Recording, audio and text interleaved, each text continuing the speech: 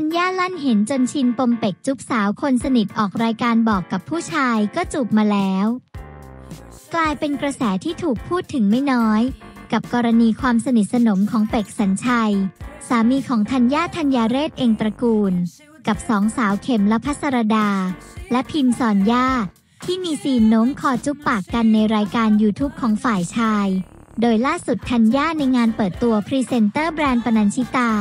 ที่ศูนย์การค้าฟิวเจอร์พาร์ครังสิตก็ได้พูดถึงเรื่องนี้ว่า เห็นกระแสจากรายการคนละเป็กหรือยัง เห็นค่ะก็จริงๆ เขาก็จะแนวนี้ กับเพื่อนสนิทไม่ว่าจะผู้หญิงผู้ชายจะถึงเนื้อถึงตัว ซึ่งเราก็เห็นจนชินแล้ว ไม่ได้ตื่นเต้น เพราะเราเห็นบ่อยแต่เราก็บอกเขาว่าเวลาออกสื่อคนก็จะตกใจใช่ไหม เพราะความเป็นผู้ชายผู้หญิงกัน แต่ก็ไม่เป็นไรค่ะเดี๋ยวเราเอาบ้าง พอมีกระแสออกมาแบบนี้ได้คุยกับพี่เป็กบ้างหรือยัง เราไม่ได้พูดถึงเลยค่ะ แต่ว่ามีทีมงานส่งข่าวส่งกระแสให้เราดูบ้าง ก็ไม่ได้พูดอะไรกับเขาค่ะ เพราะเขาอยู่อเมริกาด้วย อย่างที่บอกมันเป็น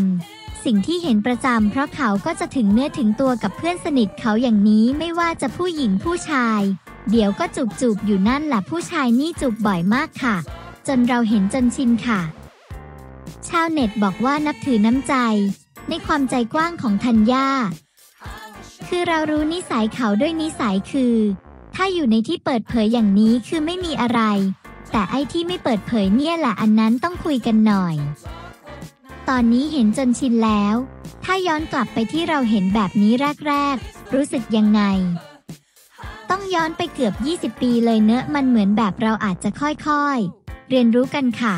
เพราะเจอกันครั้งแรกเขาก็ไม่ได้แสดงอาการอะไรแบบนี้ไง แต่พอมาเจอเรื่อยๆ เริ่มสนิทขึ้นขึ้น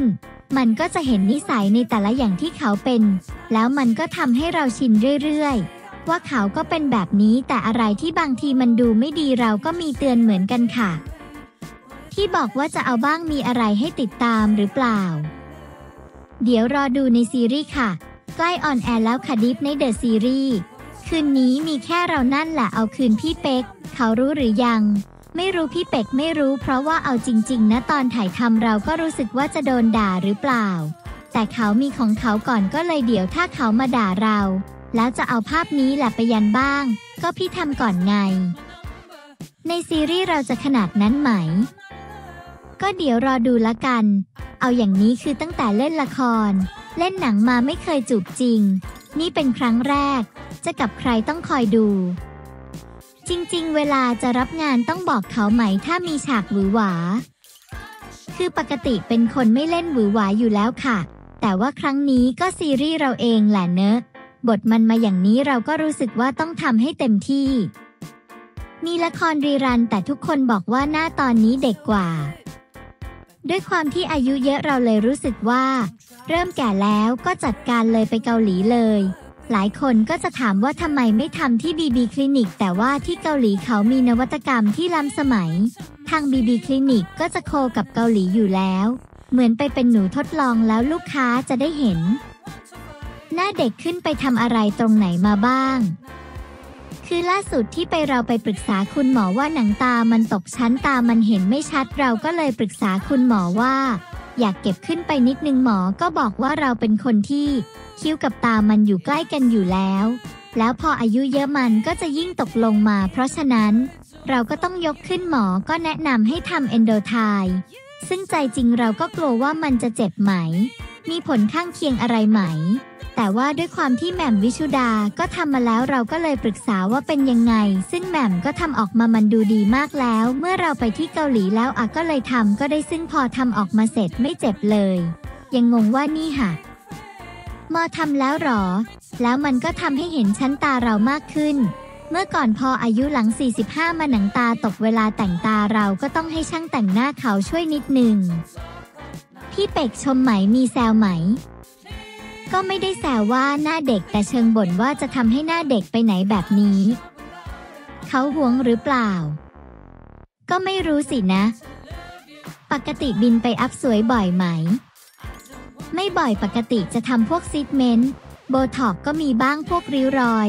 ฟิลเลอร์ไม่เคยฉีด แล้วก็ล่าสุดมีทำสเต็มเซลล์ด้วย มันก็เหมือนเป็นการบำรุงภายในบำรุงผิว เรื่องผิวดูแลตลอด แต่ในเรื่องพวกนี้อย่างเอนโดไทไม่เคยท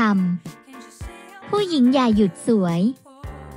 ใช่ห้ามหยุดสวยบางคนก็รู้สึกว่าแก่แล้ว แล้วไม่ต้องทำอะไรเราก็ต้องทำให้แก่น้อยลงคือจะ 50 อยู่แล้ว ถ้าไม่ดูแลตัวเองมันก็คงไปไกลค่ะ มัดใจคุณสามี ก็ไม่ได้อยากจะมัดเยอะเพราะรำคาญ ก็ปล่อยเขาหน้าเหี่ยวไปแล้วเราก็หน้าเด็กไง มีคิดจะชวนเขาไปทำบ้างไหม ก็เคยคุยกันแต่เรารู้สึกว่าพอเป็นผู้ชาย เพราะเขาแก่ไปตามวัยแล้วมีริ้วรอยมันจะดูภูมิฐาน ผู้ชายบางคนถ้าทำแล้วเกิดมันมากเกินไปมันจะดูแบบ บางคนอาจจะดูสาวนะ ถ้าไปเจอหมอที่เก่งมันก็ทำได้อยู่แล้วแหละแต่เรารู้สึกว่า อย่างพี่เป็กก็ให้แก่ไปตามวัยก็โอเค ไม่อยากให้รอไปกว่านี้เดี๋ยวสาวเยอะ ใช่ไหมเดี๋ยวสาวเยอะไม่ใช่เราปวดหัวนะเดี๋ยวลูกปวดหัว ตอนนี้ลูกจัดการค่ะ